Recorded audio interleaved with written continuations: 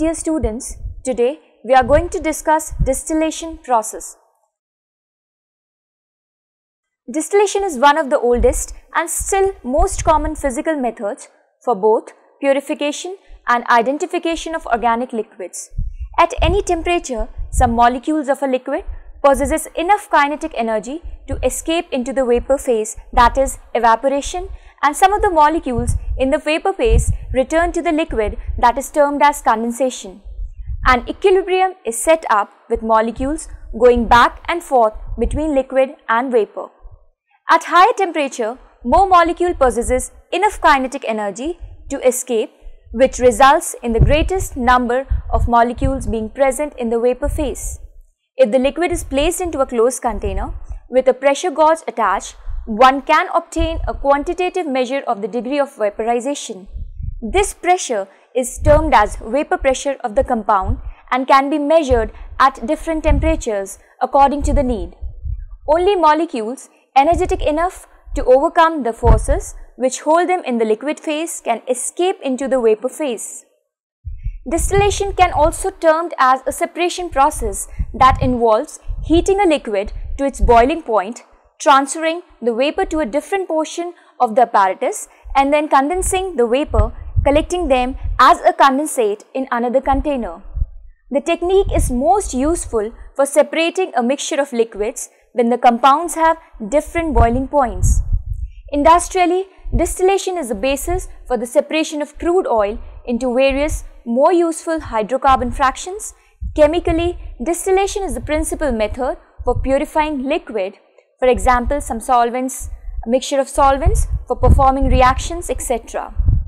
Going towards the distillation curve, it is a plot of temperature versus volume of distillate. As the distillate on an unknown mixture is carried out, the experiment records the temperature of distillate as soon as the first drop is collected and every several drop thereafter. Once a data is collected, a graph is made that is known as distillation curve. Going, we are now seeing distillation of a pure liquid. A pure liquid has a constant boiling point as long as liquid and vapor are in equilibrium. In a simple distillation of a pure substances, as the temperature rises, the vapor pressure increases. As the vapor expands, is it passes out of the heated portion of the apparatus until it comes into contact with the cold surface of the water-cooled condenser. When the vapor is cooled, it condenses and passes down the condenser into the receiver. Now we are looking to this distillation of a mixture which is the distillation process or the separation process of the mixture of two or more solvents.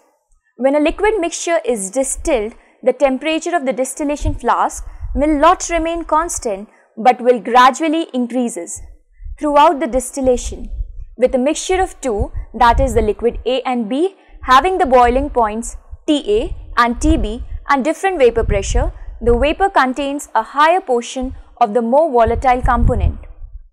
The composition of the vapor in equilibrium with the liquid mixture is shown vapor liquid phase the diagram which is shown on the screen. In this, is, in this diagram, a liquid of composition defined by x1, in this case 50% A and 50% B that is we are taking the 50% concentration of the component A and 50% concentration of the component B has a boiling point T. This can be seen by reading up from x-axis at x1 until we meet the lower phase curve for the liquid. If we follow the T1 line horizontally, we can determine the composition of the vapor in equilibrium with liquid of composition X1 at temperature T1. This corresponds to the composition X2 in the diagram. You can see from the diagram that is 80% A and 20% B. Note that the vapor is considerably enriched in a more volatile component A. This is because as I have told earlier that component A has a higher boiling point. That is, the TA is smaller than TB and then A is more volatile than B. If this vapor is condensed, then a liquid of composition X2 is obtained. That is, to condense the vapor, the temperature is lowered from T1 to T2. If the liquid of composition X2 is allowed to reach T2, it will exist in equilibrium with A. Vapor of composition X 3. This vapor that is 90% A and 10% B can be condensed and re-vaporized and so on until eventually vapor and subsequently liquid of the pure A is obtained. That is, according to the need, that is, the purification of A can be obtained by the increasing the temperature from T1 to T2. Now we will look towards the Raoult's law. The vapor in equilibrium with a mixture is richer in a more volatile component is expressed quantitatively as Raoult's law. We can also say that the component which has the higher boiling point or higher temperature can be vaporized easily and it will be present in a higher content. When two liquids that are completely soluble in one another are mixed together, the total vapor pressure is the sum of the two vapor pressures that is the vapor pressure of A and vapor pressure of B. The contribution of each component to the vapor to the vapor pressure is the function of the composition of the mixture. Miscible pairs of liquids are said to behave ideally if the contribution of each component to the total vapor pressure is directly proportional to its mole fraction. Equation is seen on your screen. Capital PA is equal to XA into PA epsilon and capital BP is equal to XB PB epsilon. Calculating the total vapor pressure that is P total is equal to partial vapor pressure of PA plus partial vapor pressure of PB and that, that sums the above equations where PA and PB are the vapor pressures of A and B above a solution of the mole fraction, XA and XB and P are the vapor pressure of pure A and pure B respectively at a particular temperature. This type of behavior is often referred to as ideal behavior or behavior according to Raoult's law. Not all mixtures of liquids conform to Raoult's law. For example, a mixture of ethanol and water because the molecular interactions between the ethanol and water forms a azeotropic mixture. A mixture of 95.5% ethanol and 4.5% water boils below the boiling point of pure ethanol and thus 100% ethanol cannot be prepared by distillation. Raoult's law can also be used to calculate the vapor pressure of a binary system. The composition of the vapor in the equilibrium with a binary mixture is calculated using Dalton's law. A mixture of liquids of a certain definite composition that distills at a constant temperature without the change in composition is known as azeotropes.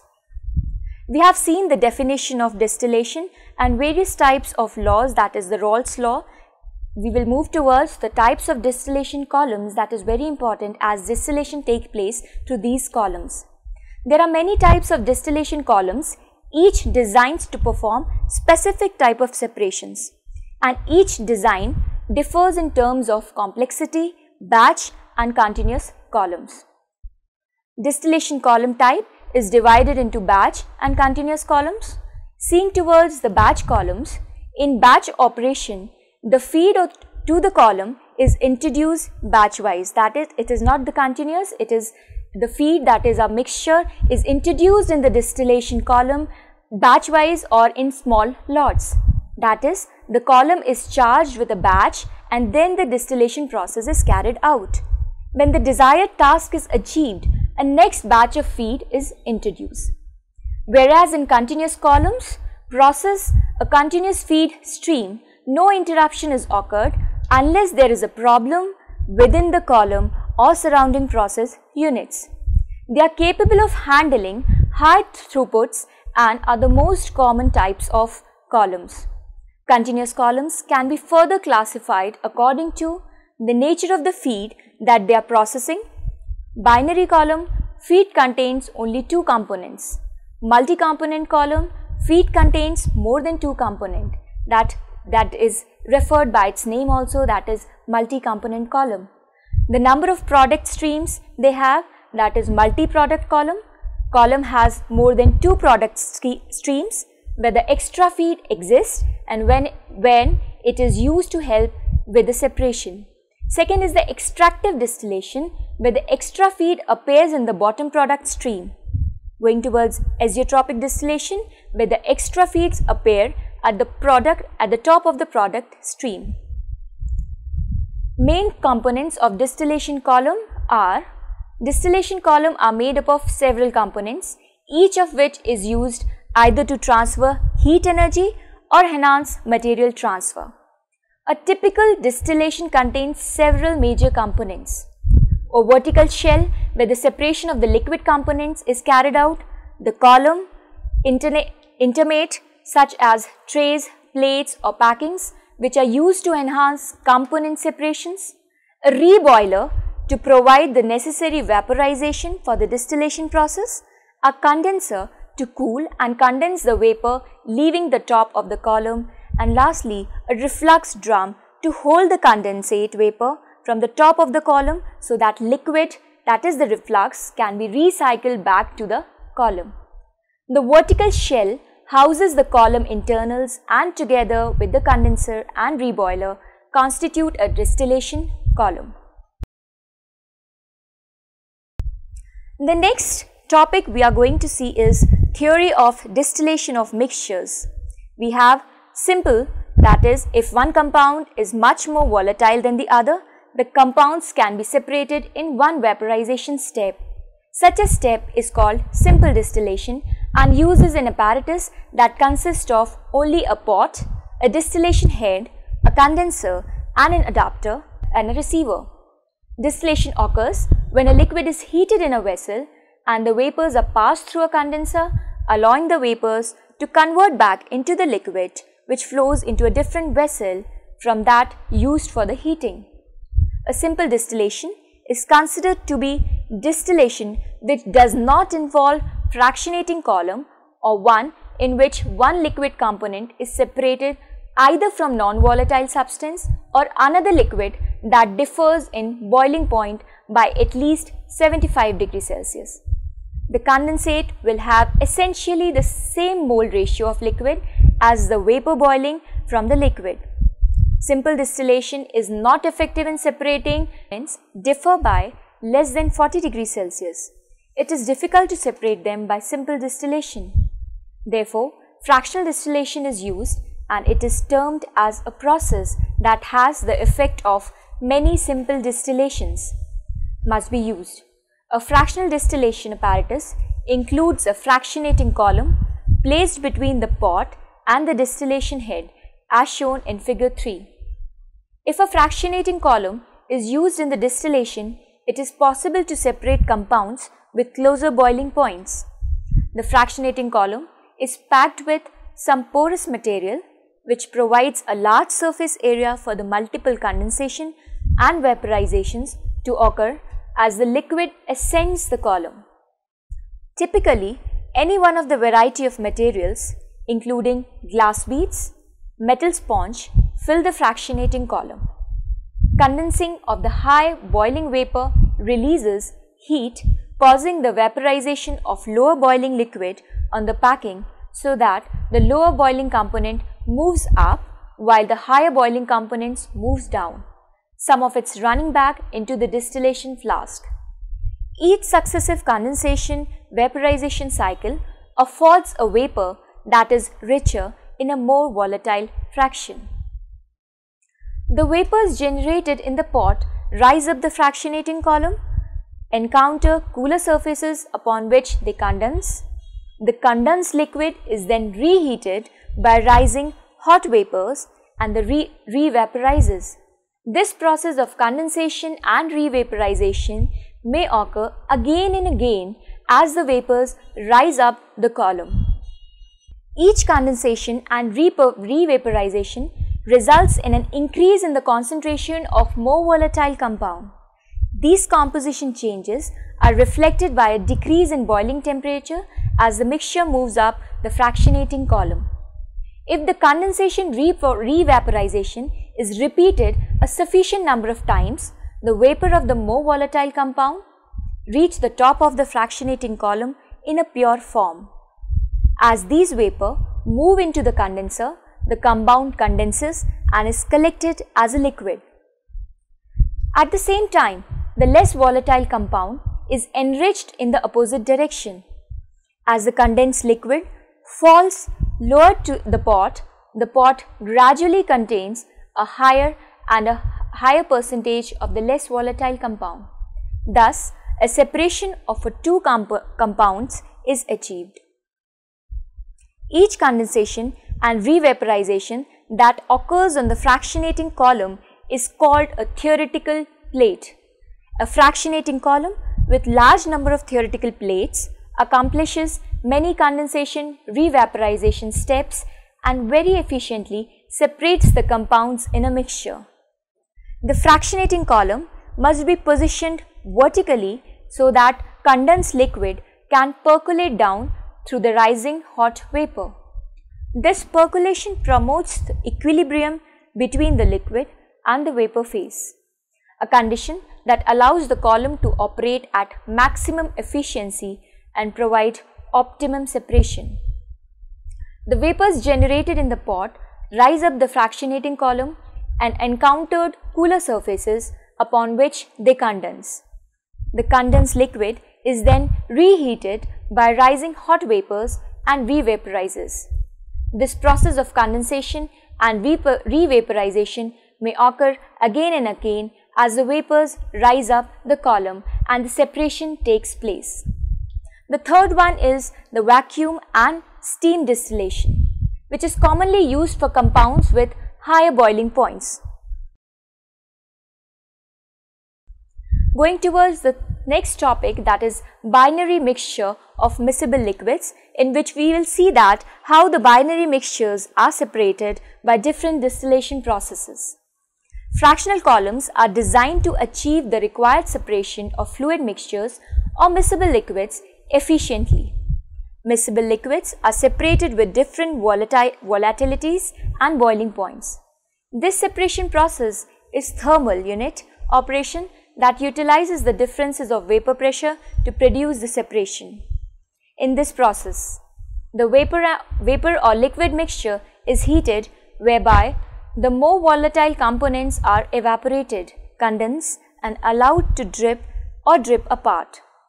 When two liquids form a homogeneous solution, that is, they do not show heterogeneity, they are said to be miscible.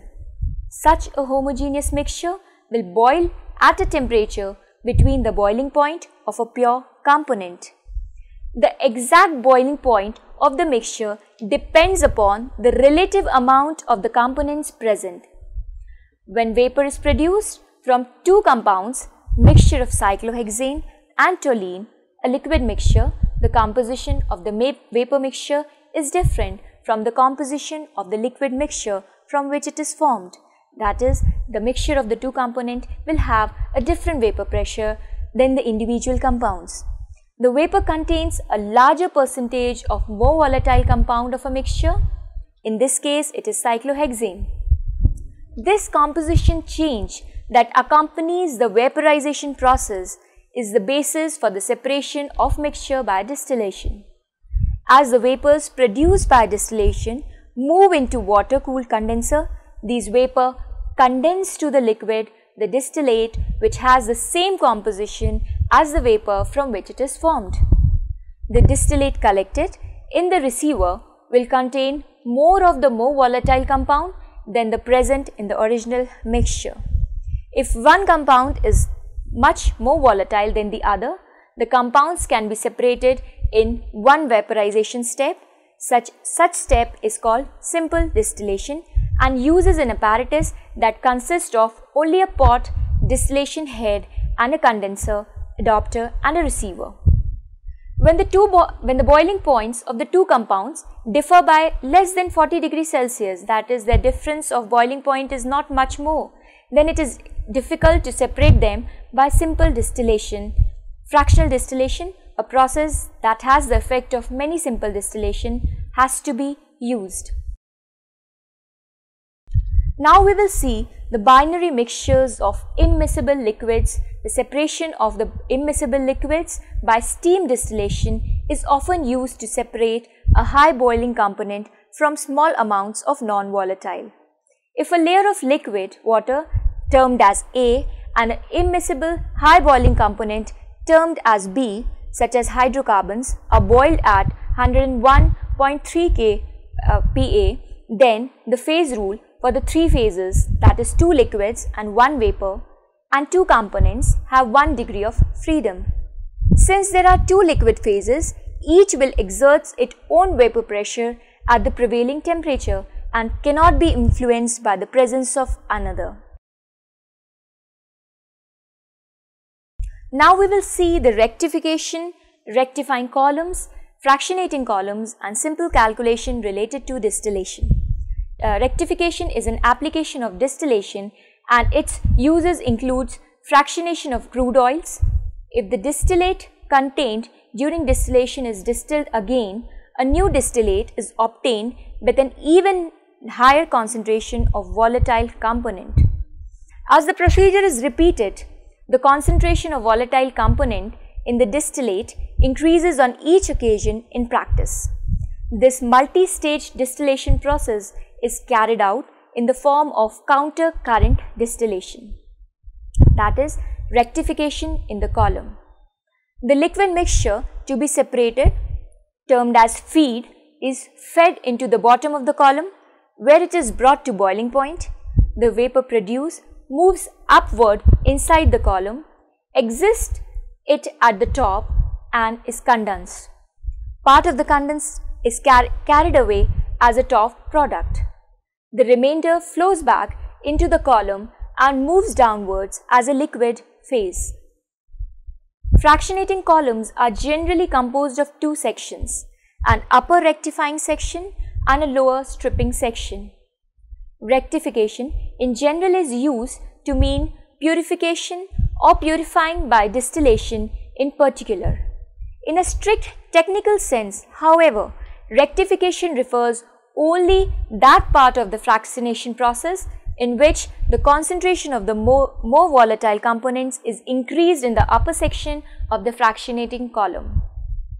Stripping, on the other hand, refers to the part of fractionation process in which a more volatile compound are stripped from the liquid in the lower section of fractionating column or sometimes in a separate stripping column or stripper. In most stripping sections or columns, steam is normally used to strip the volatile components from the descending liquid. The two major types of contacting devices used in fractionating columns or towers are packing and trays. Packed column are also called continuous contact columns. Use packing that may be grit, random, dumped or structural. Uh, structural sheet metal packing while tray packing also called staged contact columns uh, use trays or plates. Trays used in the tray column can be of many different types and designs including not only conventional trays such as bubble cap, perforated and valve tray but also baffle, tunnel, high capacity, dual flow and multi multiple and downcomer trays. Fractionating columns are designed to achieve the required separation of fluid mixture or miscible liquid efficiently. Packing is usually referred for loads that are temperature sensitive or corrosive as the range in packing materials is wider than the commonly available for trays. Packing is further preferred for foaming systems where the low gas and liquid velocities in packing suppresses foam formation. Packing pressure drop is also much lower than trays. Packing columns are uh, favored in vacuum services and wherever pressure drop is important or where it is economical to minimize it. In addition, packing columns are normally used for lower loads because of the mass transfer characteristics of packing. The mass material in packing and application takes place on a thin film of liquid that is spread over the surface area of the packing. If the liquid rate is high, then boundary layer will increase, reducing the mass transfer. Packing columns are also used for smaller towers with diameter less than 3 feet as it is difficult to assess such towers from inside in order to install and maintain the trays. We'll look towards the tray columns on the other hand have the large columns with high liquid loads. With lower liquid loads, trays can have high residence times leading to undesirable effects such as fouling and sedimentation. In addition, trays will have difficult maintenance in a good weir loading and distribution across the tray resulting in the lower than expected tray efficiency. For such regions, it is often more economical to handle high liquid loads in tray columns, whereas packing are prone to serve maldistribution problems in large, in large diameter columns. These problems are far less severe in tray columns. Tray columns are also to be preferred where fouling or solid accumulation and deposition is anticipated because of the long history of success trays have had in fouling service applications. Now we will move on conclusion. Hope you all have enjoyed the topic.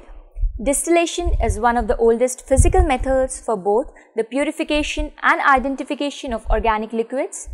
Distillation can also be termed as a separation process that involves heating a liquid to its boiling point, transferring the vapors to a different portion of the apparatus, condensing the vapors and then collecting these condensed vapors into the another container that is called as condensate.